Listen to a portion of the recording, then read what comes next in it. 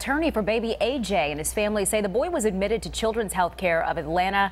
AJ's father wants to donate a kidney to his son, but has been delayed by Emory's Transplant Center. And Good Day Atlanta's Caitlin Pratt is live with an update for us. Caitlin, good morning. Good morning to you, Elise and Ron. Uh, supporters of baby AJ, many don't even know him or his family, gathering in this spot across from Children's Healthcare of Atlanta last night, calling for compassion. They say this little boy may not make it until 2018.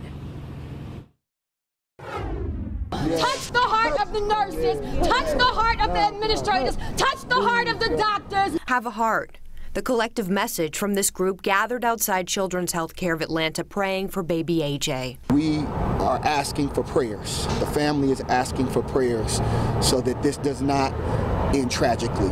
The two year old was born without kidneys and, according to his family's attorney, must undergo nightly dialysis to survive. His father, Anthony Dickerson, a match for donation, but he violated his parole, and Emory Hospital changed the timeline for the transplant procedure. A letter from the Emory Transplant Center says its donor team wants to hold off until January after Dickerson provides evidence of compliance from his parole officer for the next three months.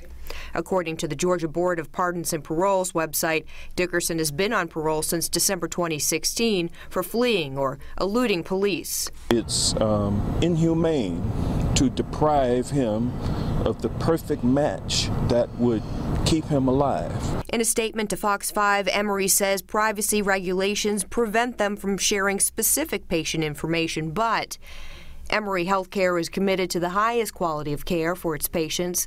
Guidelines for organ transplantation are designed to maximize the chance of success for organ recipients and minimize risk for living donors. Transplant decisions regarding donors are made based on many medical, social, and psychological factors. And so, baby AJ here in the hospital being treated for infection at this point. What's next in all of this? Family's attorney say, says they're reaching out to other hospitals to see if they will give the green light for this transplant to happen. That's the latest here in DeKalb County this morning. I'm Caitlin Pratt for Good Day Atlanta. Following the story for us, Caitlin, thanks.